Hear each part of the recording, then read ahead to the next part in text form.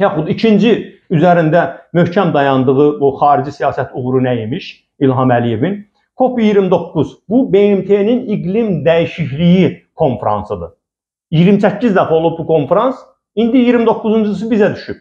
Bu da həmin o qoşulmayan ölkələrin sədarəti kimi qitələr arasında gəzir, coğrafiyalar arasında. Bu dəfəki toplantının yeri Şərqi Avropa ölkələri olmalı idi. Şərqi Avropa ölkələrinin əhəmiyyətli bir hissəsi Avropa Birliyinin üzvləridir. Onları Rusiya veto elədi. Yəni faktiki Rusiyanın köməkliyi ilə biz ora ev sahibliyini qazanmışıq. Həmin o Şərqi Avropa ölkələrinin hansı dedilər, dedi ki, Rusiya dedi ki, hansı onların ev sahibliyi eləsə, BMT orqanı daxı bu. BMT Təhlükəsizlik Şurasındakı veto hüququndan istifadə edib dedi ki, mən ona imkan verməyəcəm. Ev sahibliyini Avropa İttifaqında olan ölkələr eləsin. Oradan da əsasən kim qaldı? Keçmiş postsovet ölkələri. Onlar nə vəziyyətdədirlər? Ukrayna müharibənin içində Moldova və Gürcüstan üçün bu çox ağır yükdür. İndi mən o barədə danışacağam, bu nə qədər bir ağır bir yükdür.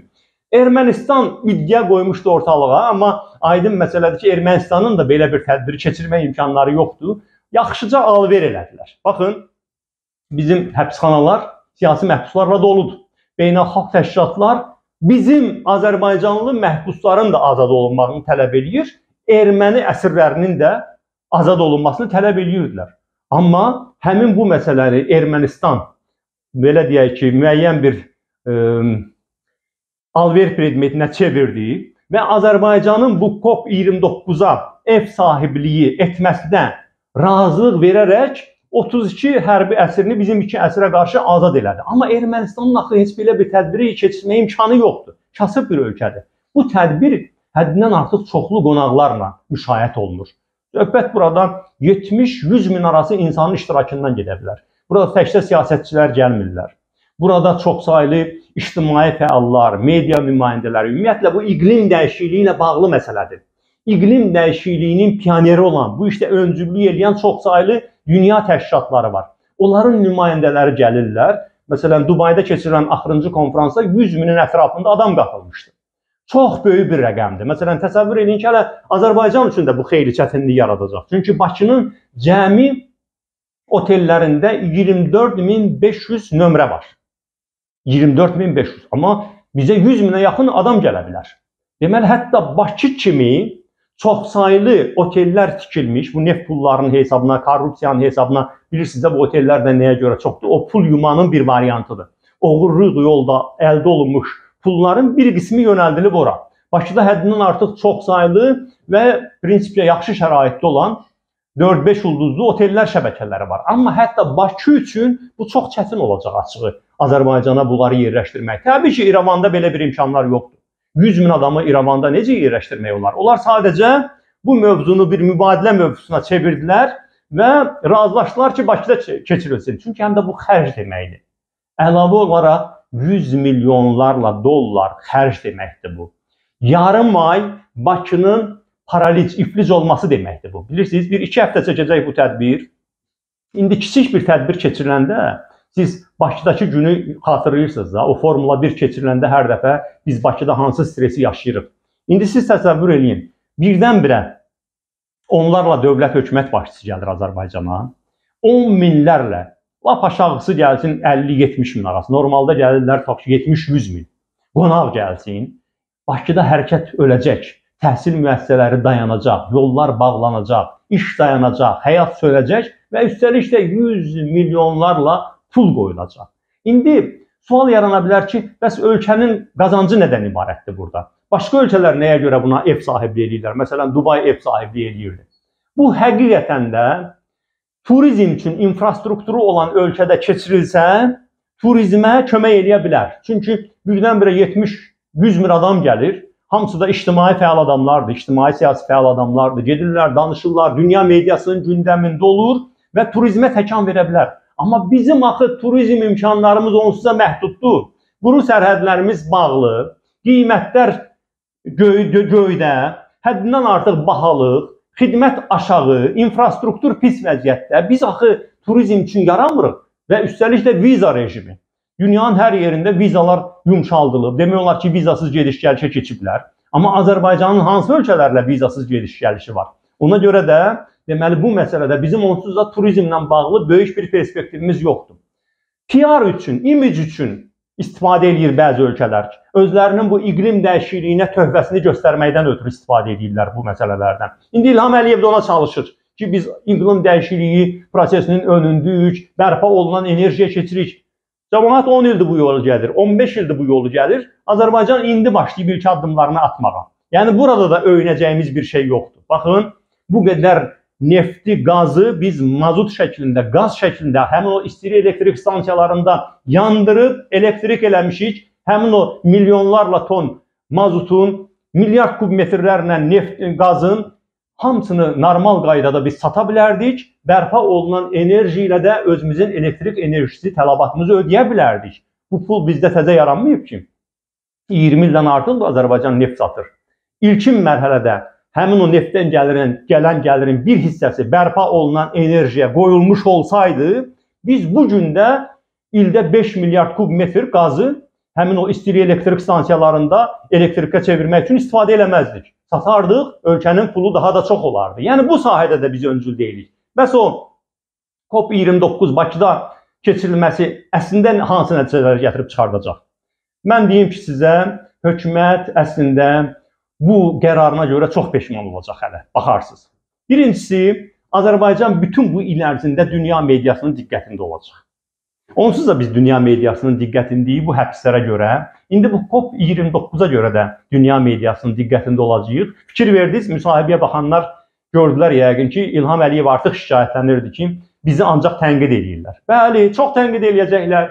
Həmin bu COP29-a görə Azərbaycana maraq daha da artacaq və Azərbaycanla maraqlanan kimi nə çıxacaq ortalığa? Repressiya, hüquqsuzluq, saxta seçkilər, korrupsiya çempionluğu, bunların hamısı il ərzində onlarla, yüzlərlə dəfə tirajlanacaq. Dünya mediası gələcək noyabr ayında Azərbaycana. Buradan həftələrlə reportajlar gedəcək və təbii ki, o tərəfsiz, həqiqətən də liberal görüşlü media quruluşları Azərbaycandakı problemləri dünyanın gündəminə gətirəcəklər. Yəni, əslində COP29 Azərbaycanın indiki rejimin tərəfindən yaradılmış problemlərini dünyaya yayacaq. Şəxsən mən o baxımdan razıyam ki, Azərbaycan COP29-a ev sahibliyi eləyəcək. Görəcəksiniz ki, bütün il ərzində Azərbaycanda bu hakimiyyətin yaratdığı problemlər dünya mediasının gündəmində olacaq. Bunlar sadəcə onun o şöhrətpərəstlik hissəsini götürüblər ki, baxın başqalarının bacarmadığı, məsələn İrəvan bunu bacarmaz, başqa kiçik ölkələr bunu bacarmaz. Biz 70 min qonaq qəbul eləyəcəyik. Bu Azərbaycanın neft pullarının hesabınadır. Heç kimin şəxsi qabiliyyətinin hesabına deyil bu. Azərbaycanda bəli otellər şəbəkəsi çoxdur.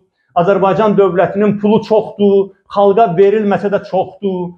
Çox rahatlıqla 100 milyonlar xərclənəcək. O mənasız Formula 1 üçün 100 milyonları xərcləyir Azərbaycan dövləti. Əlbəttə ki, COP29 üçün də xərcləyəcək.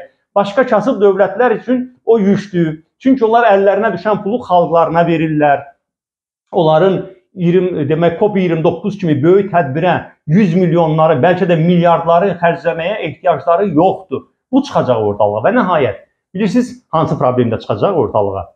Bu COP29 harada keçirilirsə, iqlim fəalları ora toplaşır bütün dünyanın hər yerindən və yəni bu ekoloji fəallardır da daha çox burada fəallıq edənlər və bunlar kütləvi aksiyalar keçirdirlər. İndi Azərbaycan üçün yeni bir çağırış yaranacaq. Azərbaycan hakimiyyəti izah etməli olacaq. Həm bizə, həm dünyaya. Azərbaycanda axı sərbəst toplaşma azadlığı yoxdur. Əgər bu COP29-a gələn ictimai fəallara, ekoloji fəallara da mitinqlər, yürüşlər keçirmək imkanı tanınmayacaqsa, bu qaş düzəltmə yerinə göz vurub çıxarmaq olacaq və Azərbaycan hakimiyyəti bütün dünyada rüsvay olmuş olacaq. Bütün dünya Azərbaycanda sərbəst toplaşma azadlığının olmamağından danışacaq. Yox əgər onlara bu şərait yaradılsa, həm də şəhərdə 70 min, 100 min qonaq olan bir vəziyyətdə, onlarla dövlət və hökumət başçıları olan şəraitdə, üstəlik də mitinqlər, yürüşlər keçiriləcəyi təqdirdə biz Azərbaycan xalqını rejim təhqir eləmiş olacaq ki, deməli, əcnəblərin, dünyanın 100-dən artıq ölkəsindən gələn insanların, tanımadıqları adamların Azərbaycanda gəlib sərbəst toplaşma azadlığından istifadə eləməsinə şərait yaradırlar. Amma konstitusiya ilə qarşılarında öhdəlik götürdükləri Azərbaycanlıların tanıdıqları, bildikləri, hər zaman tutub həbs eləyə biləcəkləri adamların sərbəst toplaşma azadlığına imkan vermirlər. Bu da Azərbaycan hakimiyyəti üçün növbəti bir çətin seçim olacaq. Mən bu sualın cavabını yekunlaşdırmaq istəyirəm. Bu iki tədbir haqqında özüm qəsdən ətraflı danışdım. Deməli bu qoşulmayan e, Dövlətlər Birliyi ilə bağlı və COP29 ilə bağlı. Çünki İlham Əliyev də bütün təbliğatını xarici siyasətdəki uğurlarını bunların üzərində qurub ki, nəyə görə Azərbaycanın xarici siyasəti uğurludur? Çünki 3 il qoşulmayan Dövlətlər Birliyinə sədrliyi həyata keçirdib və COP29-a da ev sahibliyi eləyəcək. Ona görə bunların ətrafında mən ə, e, üzərində çox dayandım. Amma ümumi şəkildə demək istəyirəm ki, əziz həmvətənlər, bizim hamımızı narahat eləməlidir. Azərbaycan bu müstəqillik dövründə beynəlxalq aləm tərəfindən indiki qədər heç vaxt sıxışdırılmayıb. Azərbaycanın dünya birliyi ilə, dünyanın qabaqcıl ölkələri ilə münasibətləri heç zaman indiki qədər gərgin olmayıb. Azərbaycan hal-hazırda dünyanın əsas güc mərkəzləri ilə faktiki qarşıdurma şəraitindədir və bunun bədəlini biz hamımız birlikdə ödəyə bilərik. Yəni biraz əvvəl vurğuladığım o məsələn qazla bağlı sanksiya, sanksiya gələndə təkcə qaza gəlmir ki, Azərbaycanın o beynəlxalq sanksiyalara tuş gəlmə ehtimalı, Azərbaycana qarşı başqa embargoların ehtimalı, bunlar hamısı bizim maraqlarımıza xalq olaraq, dövlət olaraq təhlükələrdir. Ona görə biz bilməliyik ki, Azərbaycan hakimiyyəti nə qədər özünü tərifləyir, tərifləsin, faktiki xarici siyasəti iflasa uğrayıb, Azərbaycan təcrid olunmuş dövlətlərin, avtoritar liderlərin klubuna daxil olmaqdadır. Qapı hələ bağlanmayıb, amma artıq özünü daha çox orada görür Azərbaycan hakimiyyəti və dünyanın demokratik kəsimi ilə də qarşıdurmadadır. Biz xalq olaraq mövqe bildirməliyik. Azərbaycan hakimiyyətinin bu səhv siyasətinə etiraz eləməliyik. Sadəcə müşahidəçi kimi, film kimi baxmalı deyilik bu baş verənlərə. Bizim başımızda gəzir bu fəlakətlər. Nə olsa xalq olaraq ilk növbədə onun acısını biz hamımız yaşayacağıq. Ona görə də vətəndaş mövqeyində olmaq lazımdır. Azərbaycan hakimiyyətinin Azərbaycanı dünya birliyindən təcrid etmək siyasətinə qarşı mövqe qoymaq lazımdır ortaya.